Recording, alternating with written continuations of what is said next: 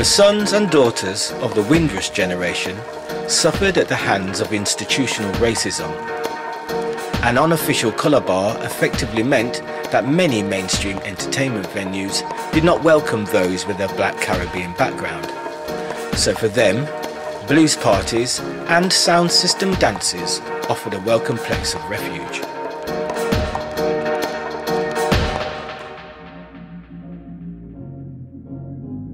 One of my best friends, he lived like four houses away. And um, his father had a sound system. It was called Lord Barley Sound. And every Saturday there was blues dances. And we could hear the music. Like I was in my bedroom, I could hear the bass coming down the street, you know. I used to be fascinated by sound systems. I mean, living in Brixton, you know, you're trying to go and sleep at night and you're hearing every night there seemed to be a blues dance and you can hear it from miles off the reality of the situation is there was so much racism at that time. Um, you couldn't go to certain clubs as black people, you know, so they had to kind of do their own entertainment. So they congregated in some houses on Saturday nights, and you know, sometimes the children are upstairs, you know, sleeping. Cause the bass make you sleep, you know. So I used to say to my my friend, I said, uh, one day we're gonna have to have a sound system ourselves, you know. And it just so happened that the father passed down that sound to the son. So we had a sound system while we were still at school, you know. Most times we would just plan to just sneak out at nights and, and, and try to get into one of the blues, you know. It was, it was usually some old shack downstairs, some old basement, or most times we, we were, it was noticeable that we weren't supposed to be there. Sometimes the guys would just say, all right, right. And that's how I experienced the sound system vibe because I just used to stand up and listen and even when we first started to DJ on the microphone, we were like newsreaders, you know? It's like when we start talking about certain things which are happening in society and even on the news and all those kind of things. And the response and the reaction, the people went crazy, you know, because they could identify with what I was talking about, you know. Because of the, uh, let's say, the political climate at the time, because we're talking 80s, 1980s, we're talking about. The, the climate at the time we felt very secluded from society. We felt we were under attack. So the sound system and the blues dances were our little space, our utopia within music, and places we could voice our opinions, places we could gather without feeling isolated. And it was very tough for most black youths in London, all around the country at the time, not just London. So the blues dances were very important to us. It was it was more than just going to a dance. It was a community thing. It was um, linking up with the friends, even here in the daily news, our daily news. It was like getting letters from Jamaica as well, so we could keep up with what's going on back home. You know, it was more than just a dance. It was a social vibration. You get to see your brethren and find out what's going on. You know, obviously dress up. Everybody likes to dress up. And it was an escape from what our reality was unemployed, harassed by police, bad housing, you know, bad education, all of this stuff. So the dances was our relief. The Rastafari influence within it, you know, kind of gave me a, a, identity as a black youth born in England, growing up in England, facing racism facing the National Front and all these kind of things, you know. And people like Enoch Powell was the, the MP, and yeah, he did the Rivers of Blood speech and all those kind of things. So you can imagine what it was like in Wolverhampton, you know. And as a youth growing up, the only thing is there was a lot of us, you know, like from um, Jamaican parentage, you know. And like unity was kind of like a strength towards us, you know. And and I think the racism it kind of it kind of brought us together even more. And we were like the first generation born in the UK. So we were the ones who had to defend it, you know. And our parents, they came, they didn't want no trouble, you know. Social issues that start affecting you, innit? I mean, for me, like racial issues were affecting me from I was a little child from I started school, telling the truth. You know what I mean? I was getting abused racially and stuff like that. So that's the thing. When I started listening to the records, that energy of of um, protest and some singing of liberation and stuff like that. I, I, got it.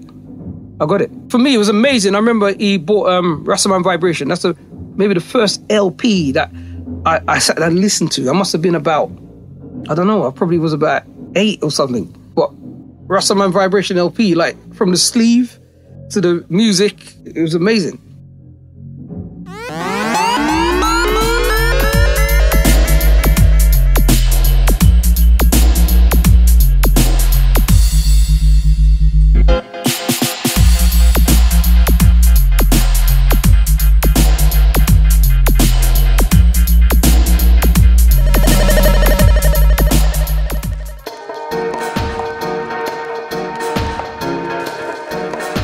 Up and down the country, Britain's inner cities resonated to the sounds of reggae music played on powerful hand-built speaker systems.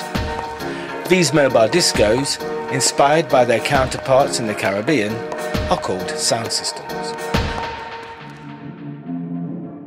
all all you can think about is it being rampack full and it's um, smoke infested and it's hot. I remember walking into this smoky, hazy hall, and this time Shaka had set up on the stage. Yeah, just boxes all around the wall. As far as you could, there was no wall, there was just speakers. Yeah, that was, um, say, my first major experience of going into a big dance and feeling at home and saying, yeah, this is where I'm meant to be. It's the it's the uh, it's the feeling of BS coming at you from all angles, you know. And it's not just BS, it's it's pressure in you. It's that what I did love. You know, when he puts on the first tune and you get that sizzle of the tops, you know, you hear that, you know, and then the mid range sort of comes in and stuff, and it's like you're starting to recognize the tune. and You think, yeah, you know, and then you know, suddenly the bass turns up, and boy, you know, that's just a next level experience. You know, what I mean, There, there is nothing like presenting roots music on a, on a dub sound, on a big sound. Yeah, yeah, yeah. I slowly became hooked until the point where I was actually began to sing on the sound system. So I'd go in and sing, you know, um, "Don't Let It Go to Your Head," Black Harmony. That was the first song that I ever sung on a sound system. And then I started singing um, "Brown Sugar," "I'm So Proud," our reggae music. Those were my sound system theme songs. Everybody got used to me singing it. So every week, people would come and listen to me sing those songs in, in, in the dance. The the eagerness, the the joy of getting up and putting on your clothes as quick as you can, putting on your shoes as quick as you can to race to the record shop because you know so that every 10 minutes you're losing a selection of music that's played in the record shop. And even though you're at the back, your your hand signal will will, will tell the man say that you know, put one of those under the counter for me, and that's how it was. But you know, the later you go to record shop, is is him, him probably play a batch of music that you never did hear, and you miss those. I would say that yeah, Lovers Rock was a UK thing. The scene to be in. We performed wonders with UK Lovers Rock at the time, you know, um, and it was a great era. It was a great time for UK Lovers Rock. Yeah, we were being played on radio stations, on legal stations, a couple of legal stations. You know what I mean? Um, we were getting a lot of support.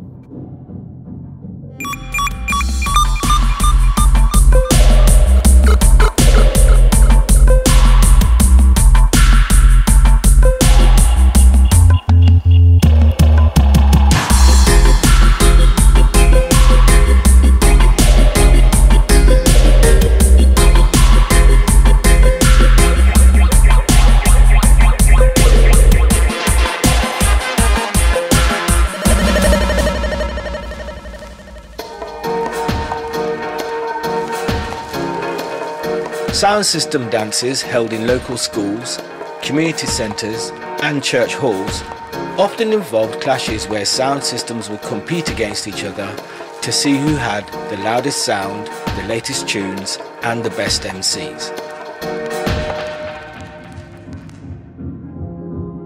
used to play all over the place. Different, anywhere you could find a hall or a school. We used to, I remember one time when the, the highest the school, you could hear this rattling, windows rattling, and that's where you knew, oh, it's over there, sort of thing. And we used to go in there and then just, just skank. He says it was all about dancing and skanking, and it was about music, number one, skanking, number two. You used to go there with a bag full of juice, apple juice, orange juice, your own mixed juice, cassette recorders, you know what I mean, towels, tracksuit. The first time we had all the speakers set up in our living room and turned on the different boxes one by one. First the tops and then the mids and then the bass. And when they all came in together it just sounded so sweet. And it was like it was a tingle down the spine you know suddenly realizing that we had this this power to play music wherever we wanted and in whichever way we wanted. You had the top tier of sounds like Shaka, Fat Man, Coxsone, Quaker, Baron from Manchester. I grew up in those clash dances, you know, and it wasn't a, it wasn't a planting. I mean, it's it's never um, on the flyer that this is going to be a clash and whatever. You just put two sounds together, it's automatically turned into a clash. and we're talking about like six days a week. It's like um, people was craving to go to dance. No, it ain't like that. But people did crave, they want to go to a dance, so they're looking for places to go. Because it's um, competition based. You can you, you start to um, understand what's going on between the two sounds. You start to understand the lingo, what they mean when them say this, what they mean when they say that. It's a competition, it's a clash. That time he had a mic man called Dirty Harry. He had a lyrics about him. Um, they call us Jah Tubbys, the leader of the rough, tough, and dread. They say that I'm extremely dangerous public enemy number one. I listened to that and I thought, wow, tough, tough. So Keith played a tune called Hooligan, as everyone knows it as Hooligan 69. So I, so I asked Keith, you know, could I hold the mic and thing? So yeah, Harry gave me the mic and thing and I done a little thing, hooligan, hooligan, where you gonna run when Jah Tubbys come? After I done it, Keith looked at me and said, We're playing Sheffield next week. Do you wanna come? I thought, oh yeah, I don't mind, you know what I mean? So I'm thinking, yeah, I'm gonna be riding in the front of the van and all that. Nah, get in the back, mate. I didn't realise how far Sheffield was. You know, I knew that going into the back of the van and traveling with the boxes wobbling all over your head was the way to go. That was it. That's how you got to the next venue. So just had to be hopefully nothing dropped on your head. Basically, a couple of boxes dropped off many few times, but I was lucky not to be getting caught.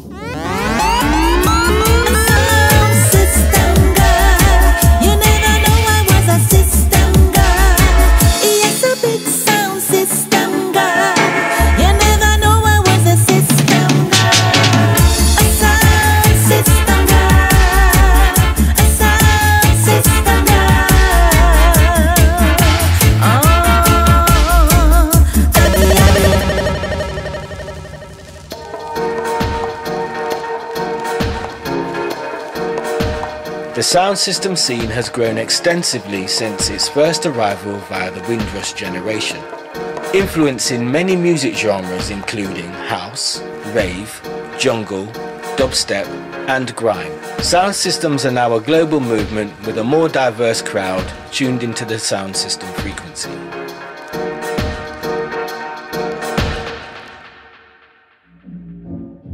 Seeing Jah Shaka play in um, in the foyer of Brixton Academy. And it was the first sound system I'd ever seen proper sound, and first time I'd seen Jah Shaka as well. And I was just blown away by the whole thing, like obviously the sound and the bass itself, but but also the the DIY nature of of how it was all running and how those different guys on the mic jumping on and the improvisation part of that. Um, and also struck by Jah Shaka's massive belief in what he was doing. It was so clear that he was completely into it. There was no pretense. Like this was his life.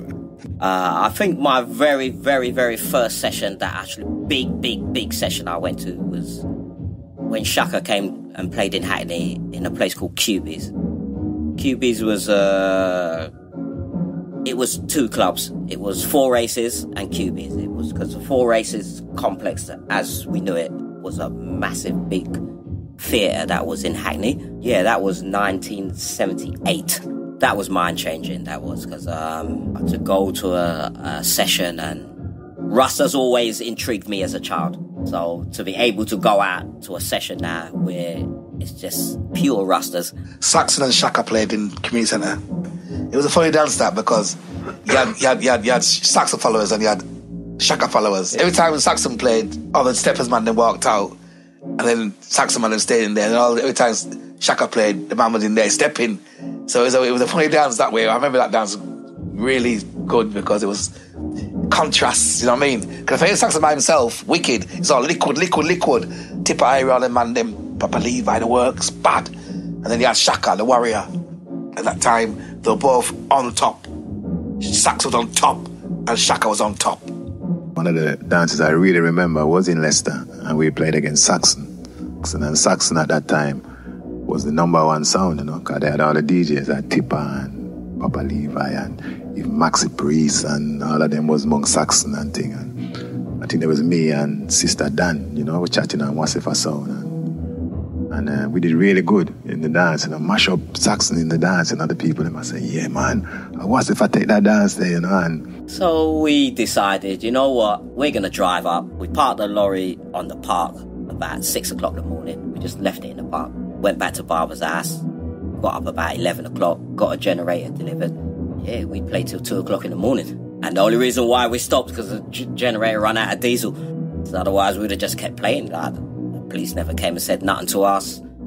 People just got their cars and just turned on the headlights and that. So, boy, it was just like a circle of cars with headlights. It was original Channel 1 in Leeds back in the day, by the way. Rasparta, Emperor, Ambassador, Genesis. No sound in Leeds, too many sounds, in fact. Every street had a, a sound system. But my sound back in the day was like Magnum 45. There was like the more of stepper sound, because when you're a youth, man, you just get to step. So that was our sound system them, them time there. In Hackney, we had a lot of sounds in Hackney. We had Phoebe's, Cubies, we had Four Aces, we had places like All Nations. We had a lot of landmark clubs in Hackney. Quaker was one of those. I mean, he, he, was um, semi-militant in himself. You know, he, he, he, he used to stamp his authority, especially out of town. He used to love to stamp his authority out of town.